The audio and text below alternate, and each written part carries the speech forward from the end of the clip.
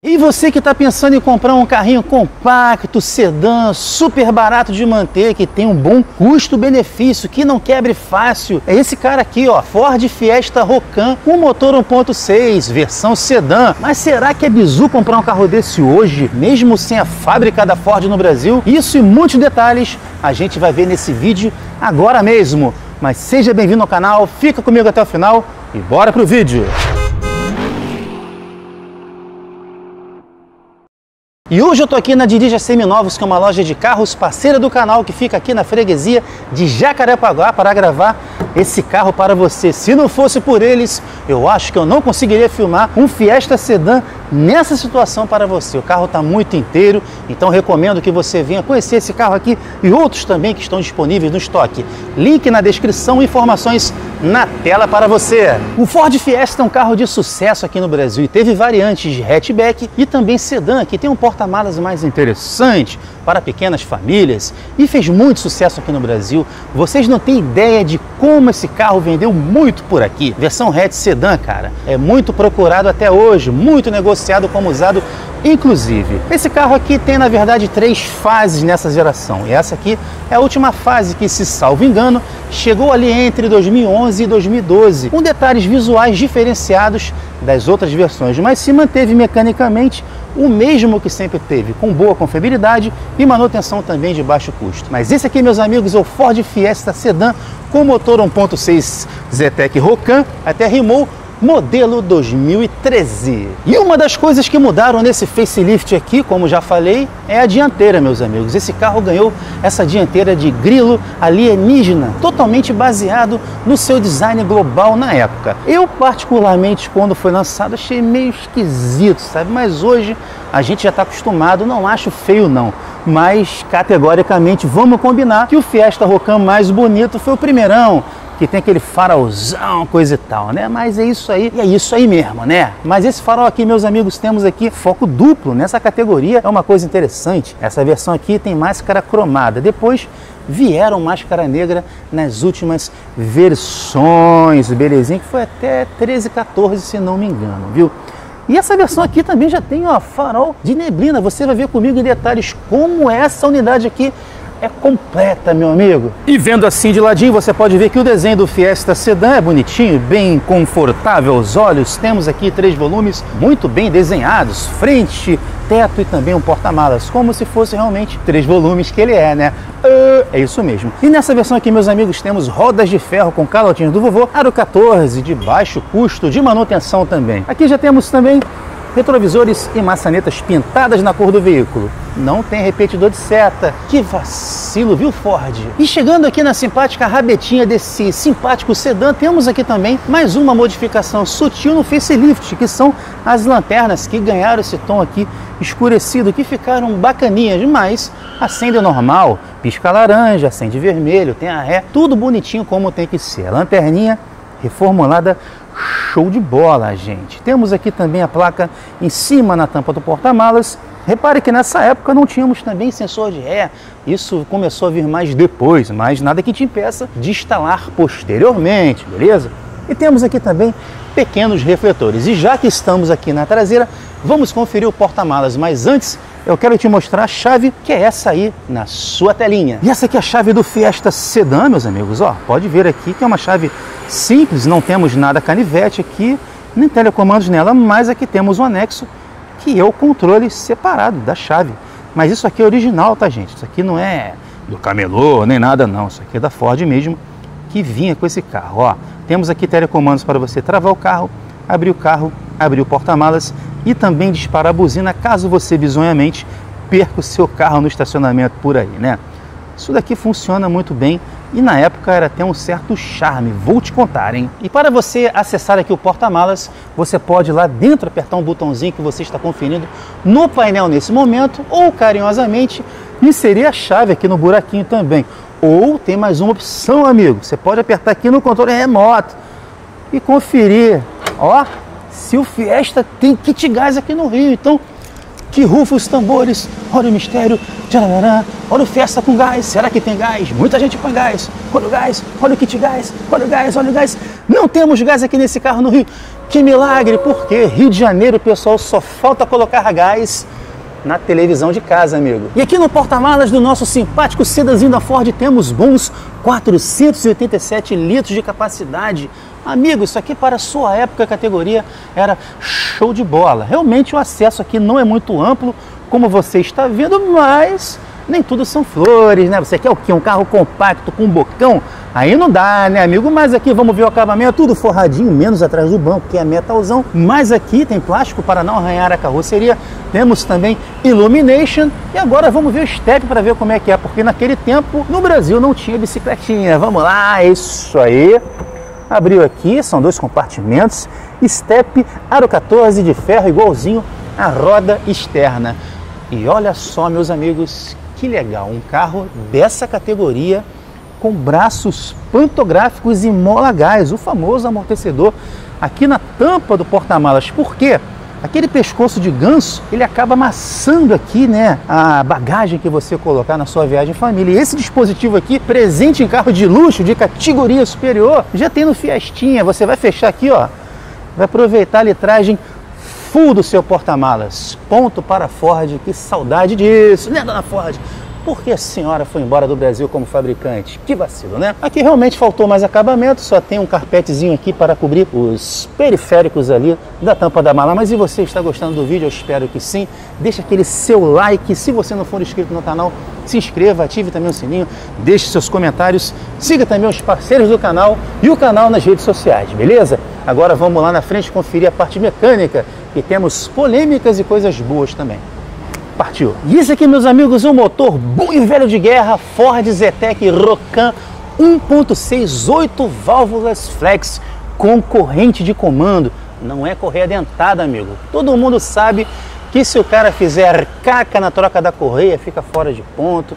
É uma manutenção um pouco assim que tem que ter cuidado. Então isso aqui já descarta, né? Mas temos um segredo aqui nesse motor que já já vamos te contar. Esse conjunto mecânico oferece para o carro até 107 cavalos máximos no etanol e 101 na gasolina a 5.500 giros, com torque máximo de 15.3 kg no etanol e 14,5 na gasolina a 4.750 giros. A sua relação peso-potência é de 10,26 kg por cavalo pesando o nosso Fiestinha Sedan 2013 Rocan 1098 kg. Sendo aí, meus amigos, esse motor empurra o carro de 0 a 100 até 12 segundos, levando até 170 km por hora de velocidade máxima. Eu acho que se você é seguidor do canal já está cansado de saber que esse motor aqui é muito bom, só que se cuidado adequadamente do sistema de arrefecimento. Esse aqui já está novinho, temos ali ó, um reservatório de expansão show de bola, que é melhor do que o original, o paralelo, acredite.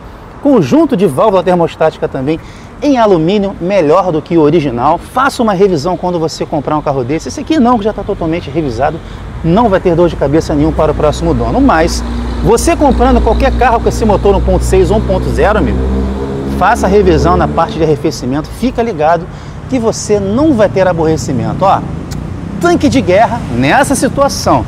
Agora, esse motor 1.6 eu sempre recomendo em detrimento do 1.0 ele anda melhor, claro, do que 1.0 e também bebe melhor, é mais econômico do que 1.0. Isso mesmo, é mais caro do que 1.0, tá, gente? Então você tem que balancear na sua conta, porque tem essa, esse carro aqui também com motor 1.0. Eu recomendo mais 1.6, não que o 1.0 seja bomba. Tem muita gente que é feliz, show de bola. E aqui também temos uma manta acústica, coisa que nem o Volkswagen Taos tem, né? Meu Deus do céu, que tristeza a nossa indústria automotiva atual. Agora então vamos lá dentro conferir acabamento, espaço interno e também equipamentos. Partiu. E aqui no interior do Ford Fiesta Sedan 2013, o que que você vê ainda agrada até os dias atuais? O acabamento até que é bem decente. Vamos conferir. Tudo bem que é tudo plasticão, gente, ó.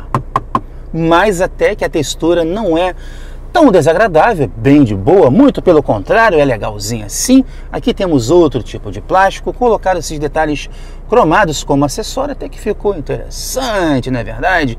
Repare aqui que esse carro tem airbag, né, que era nessa época aqui opcional, e tem essa marcação aqui, mas até que tá de boa. É isso aí, gente, bem, bem decente mesmo, viu? Acabamento inclusive mais decente do que do Gol da sua época, né? O forro de porta é igualzinho que você viu ali no painel, totalmente em plástico duro, mas a textura até que é razoável, tá de boa. Aqui temos a maçanetinha pintada na cor prata e uma coisa que está entrando em extinção nos carros modernos, meus amigos, que é tecido. E esse aqui não economizou, ó um tecido bom aqui para você não ralar o seu cotovelo no plasticão. Temos aqui uma saída de áudio e um porta-objetos que não dá para você colocar nenhuma garrafinha de Guaraná Dolly, né? E chegando aqui no meio do painel temos esse porta-objetos aqui, tipo uma bandejinha, está ok, descendo aqui temos saídas de ar-condicionado e ventilação que rodam assim para você regular, abrem e fecham também, era moda naquela época.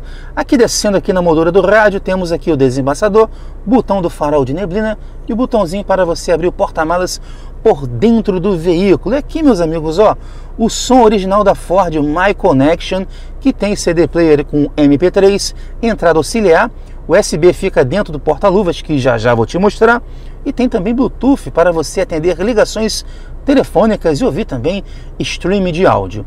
Somzinho bem decente, viu, gente? Se você quiser também tirar esse som aqui, né? Você pode colocar uma multimídia com um adaptadorzinho que fica tranquilamente 2 DIN. O ar-condicionado é totalmente manual e mecânico, mas gela muito bem, viu? Seguindo aqui temos um porta-objetos também com tapetinho bacana para você botar sua carteira. Outro porta-objetos e um porta-copos aqui. E esse carro aqui é equipado com motor 1.6 Zetec Rocan, que você viu comigo ainda agora, e também câmbio manual de 5 marchas. Engates, né, meus amigos? Padrão Ford, um pouco longos, mas até que tá de boa, bem decentes e tranquilos. Ao lado do câmbio temos aqui a tomadinha 12 volts do veículo. E seguindo o nosso console aqui no meio, repare que temos uma peça aqui bonita, não vemos aqui o carpetão e temos ela, a mais adorada, mais desejada, a alavanquinha do freio de mão do tipo giromba, que muita gente adora puxar Ai, que delícia! E continuando, temos aqui um porta-objetos no formato meia-lua, um pequeno porta-copos que serve como porta-objetos, outro porta-objetos e um porta-copos maior aqui que funciona também como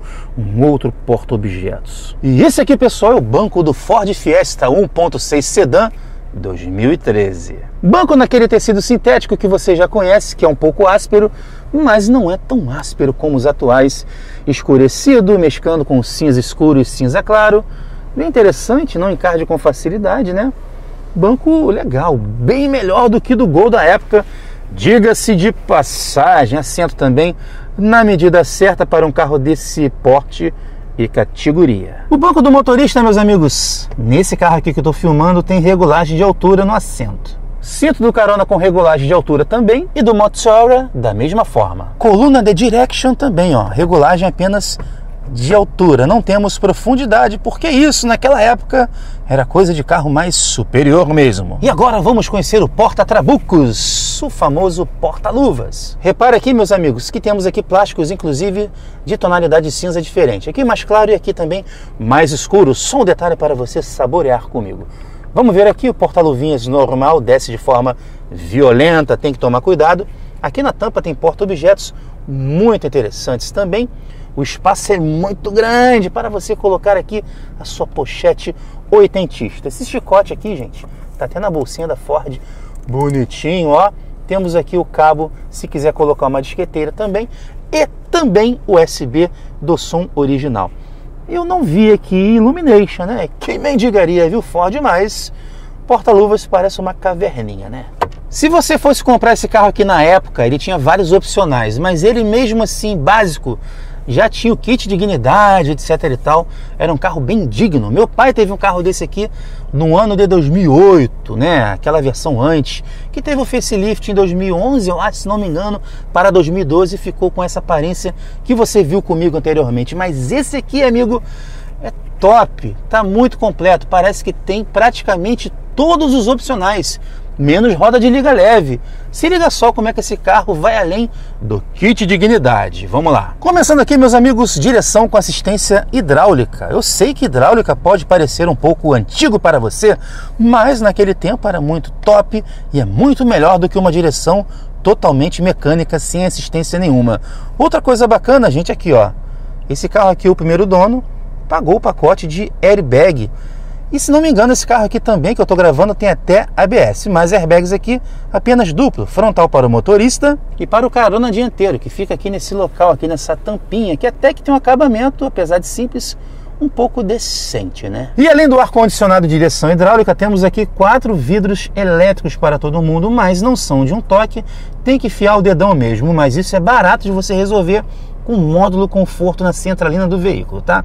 Temos aqui também a trava de segurança do vidro traseiro, travas elétricas, tem que ter do kit dignidade, né? E olha só, meus amigos, eu nunca vi um Fiesta desse aqui com retrovisor elétrico, esse aqui é bem completinho mesmo, ó. Show de bola, né? E tem a chave também com alarmezinho, telecomandos, que vem separado original Ford e o farol de neblina que você viu comigo também, né? A chave de seta do carro é essa aí, temos comandos de luzes também, e temos também botão do computador de bordo que já já vamos conferir.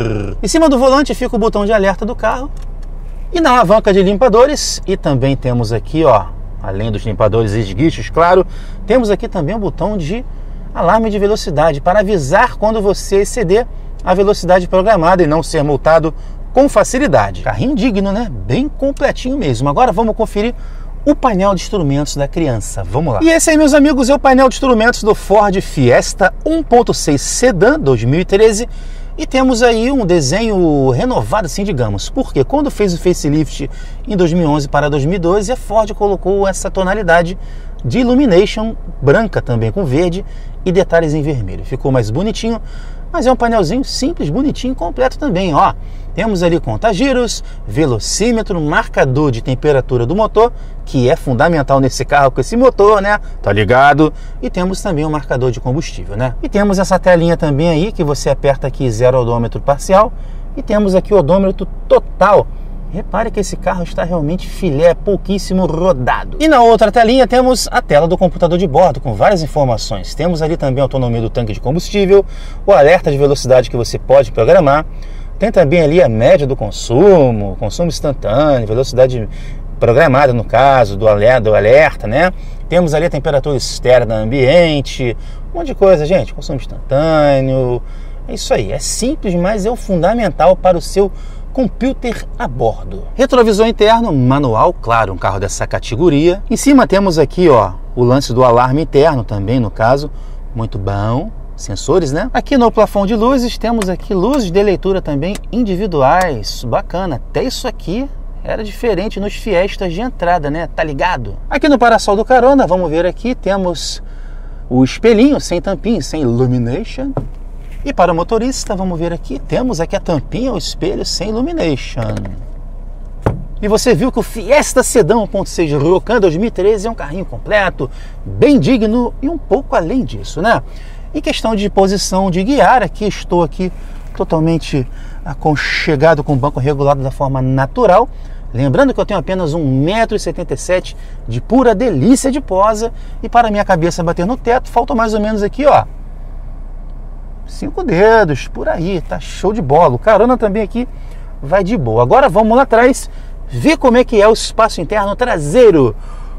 Partiu! E aqui na parte traseira do Fiesta 1.6 2013 temos um espaço também bem interessante, ó. Para minha cabeça aqui, mais ou menos três dedinhos, tá show de bola e com o banco do motorista regulado para mim, a situação das minhas pernas é essa aqui. Vamos lá. Olha só, pessoal, quatro dedinhos, quase cinco, né? Espaço bom para um carro desse projeto e época, né? Pés aqui circulam bem. Tô bem de boa, viu? Túnel central do carro. Até que é um pouco baixo, mas também não é alto, tá mediano, tá de boa. Quem vai aqui no meio sempre tem que colocar os pezinhos para cá mas não incomoda tanto não, viu? E aqui atrás realmente não temos muitas novidades porque se trata de um carro modelo 2013, tendo apenas encosto de cabeça e cinto de três pontas para quem viaja nas extremidades, porque no meio é cinto abdominalzão mesmo, raiz das antigas, e aqui esqueceram do passageiro do meio.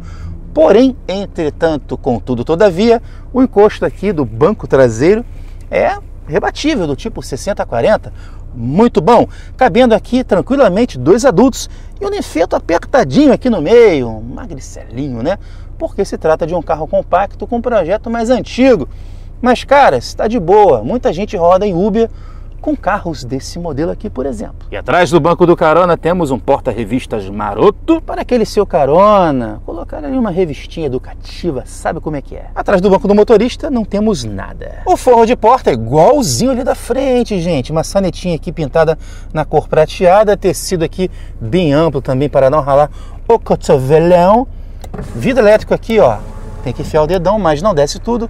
Cerca de 80% mais ou menos, mas até que tá de boa. E temos alças PQP para quase todo mundo, amigo. Olha isso. Menos para o motorista, mas aqui tem, ó, é o que importa. Senti falta de uma luzinha aqui atrás, mas não dá para cobrar muito de um carro dessa categoria naquele tempo, né? Carro agradável, meu pai teve um modelo 2008. E amigo, vou te falar, um carro desse para durar na mão do meu pai é porque é bom, acredite. Tanque de guerra e tem um custo-benefício muito interessante. Você viu que ele é bem completinho, bem digno, etc e tal. Agora vamos dar uma voltinha aqui no nosso circuito caótico do Rio de Janeiro para ver como ele se comporta e a gente ter uma impressão mais diferenciada. Partiu, vamos lá. Mas é isso aí, estamos a bordo do Ford Fiesta 1.6 E-Tech Rocan, versão sedã, modelo 2013, meus amigos. E vamos lá, como é guiar esse carrinho aqui Bons tempos da Ford do povão, né, gente? Hoje só vendem importados que custam os olhos das nossas nádegas, né, pessoal? Vamos lá, gente, falar primeiramente de suspensão. Os Fords antigamente eram conhecidos por serem muito macios, super confortáveis. Esse aqui não. Esse aqui ele já segue um padrão mais, mais durinho, sabe? Mais rígido, mas não é nada molengão não, gente. Isso daqui tem um bom lado também, que ele torna o conjunto de suspensão muito resistente, ok? Então a, a suspensão desse carro aqui realmente é pau para toda obra também, não é nada crônico, ok? Mas também não é nenhum cabo de vassoura, né? Você monta por aí. É um carro que tem sim um conforto mínimo para você rodar. Meu pai já teve um carro desse aqui, então já andei muito de Fiesta, meus amigos, é bem tranquilo mesmo, ok? Um carrinho bem estável, bem na mão, bem show de bola. E o motor, né? 1.6, eu sempre recomendo aqui no canal, se você for comprar um Fiesta, prefira sempre 1.6, que ele tem mais fôlego do que 1.0, e ele bebe até menos, né? Dependendo da situação, porque 1.0 não é bomba não, mas ele custa menos. 1.6 é mais caro, mas ele te dá um pouquinho mais de elasticidade, né, gente? É isso, caras. Esse trânsito aqui da freguesia de Jacarepaguá, assim como o Rio de Janeiro, né? A gente não consegue fazer um test drive como a gente sonha. Mas é bom também porque a realidade da galera é essa mesmo, é trânsito pesado. Enfim, gente, o motorzinho responde bem em baixa rotação, super honesto, você consegue viajar com o carro. Nada assim esplêndido, né? Não espere um desempenho maravilhoso, porque a proposta do carro não é essa, mas ele anda direitinho, tá? Super honesto, etc e tal. Barato de manter, corrente de comando, você não vai ter problema. O segredo desse carro aqui é o arrefecimento. Cuidando disso, você vai ter um carro aí quase que eterno na sua mão. E mesmo se você vacilar, retíficas ficam muito boas no cabeçote desse carro. Belezinha? Então vamos lá, gente. Agora vamos falar do consumo de combustível. O consumo desse carro aqui não é assim nenhuma Brastemp, mas para o seu projeto e época é bem tranquilo. Você consegue, deixa eu ver se tem alguma média aqui. Opa, liguei aqui, apertei o botão errado. Aqui a gente não consegue fazer uma média muito direito porque não tem tanto espaço, né? Caras, a média desse carro aqui gira em torno de 10, talvez até 10,5 na cidade. É aqui que meu pai fazia na gasolina comum. Como é um carro flex, eu sempre falo aqui no canal, os carros ali do começo da década de 2010, por exemplo, flex não eram muito econômicos. Só esses carros mais novos, três cilindros, motorzinho pequenininho, mas na gasolina esse carro aqui é bem honesto o consumo dele, beleza? Se você não pegar trânsito, vai fazer médias melhores, mas eu vou deixar a ficha técnica do Inmetro para você ter um parâmetro. Tranquilidade? Então é isso, gente. Agora vamos aos pontos positivos e negativos, que afinal é isso que definem a sua compra de qualquer coisa, na verdade. Por que não um carrinho desse aqui? Fiestinha, gente. Carrinho que tem um ótimo custo-benefício. É um carro que se você encontrar como esse aqui, filé, vale a pena comprar, porque é um carro barato de manter, é um carro valente, desde que ele esteja com aquela manutenção que eu falei em dia, que também é barata de fazer, não é nada misterioso. Entendeu, gente? É um carrinho que tem um espaço interno bem razoável para o seu tempo também. É um carro que agrada em vários quesitos, gente. A versão sedã tem um porta-malas muito bom. É um carro que até na versão sem os opcionais, que não é o caso desse aqui do vídeo, é um carrinho bem equipado. Tem um kit de dignidade e mais algumas coisinhas. Um carro que serve muito bem, caras. E aquela dúvida, antes dos pontos negativos, Vinícius, como é que eu vou fazer para comprar um carro desse se a Ford foi embora do Brasil como fabricante? Cara, fica tranquilo, porque esse carro vendeu muito, tem muita peça fabricada por terceiros ainda hoje em circulação, de qualidade inclusive. Entendeu? Então eu não vejo problema nenhum em relação a isso ainda. Isso vai acontecer, se acontecer, muito lá na frente. Esse carro aqui vendeu muito, entendido, gente? Como eu sempre falo no canal, o jogo virou para os Fordzinhos. Fiquem tranquilos, conheço um monte de gente que tem, não tem problema em dar manutenção neles, beleza? Agora vamos aos pontos negativos. Primeira coisa de negativo desse carro aqui que eu falo é o arrefecimento. É aquele detalhe que você tem que cuidar, cara. É só um ponto. Se você cuidar disso, acabou. Eu não vejo outros motivos negativos para a gente estar tá citando nesse vídeo, não. É apenas uma coisa que você tem que prestar atenção e tomar cuidado. Não invalida a compra do carro, não. Belezinha, meus amigos? Então é isso aí. Agora o nosso veredito final. Compraria esse carro? Não compraria? Pô, se você acompanha o canal aqui há bastante tempo, ou recentemente, várias listas aí. Esse carro aqui vendeu em muitos anos. Teve três fases nessa geração, várias faixas de preço. Eu sempre recomendo os Ford Fiestas, principalmente 1.6. E se você conseguir também um sedã, melhor ainda. Que, pô, sedãzinho tem um porta-malas legal. Então, carrinho totalmente aprovado e recomendado por mim e pelo canal. Tamo junto. Mas é isso aí, eu espero que você tenha gostado de mais um vídeo de review automotivo aqui no canal. Agora conta para a gente o que, que você acha do Ford Fiesta Rocão 1.6 Sedan. Teria, não teria? Teve, já teve? Quer passar longe de Ford, já que saíram do Brasil como fabricante? Larga o aço nos comentários, compartilhe esse vídeo com todo mundo que você conhece grupos, WhatsApp, redes sociais. Siga também o canal nas redes sociais. Estamos nas principais. Cuidado com perfis impostores que ficam postando vídeo do canal, né? Vamos denunciar essa galera aí. Aconteceu até com o Lucão do carro-chefe. Pô, vamos pegar leve. Isso aí é crime contra a propriedade intelectual, né? Deixa aquele seu like, se inscreva no canal, ative o sininho, confira os outros vídeos e é nóis. Até o próximo vídeo, um forte abraço, valeu!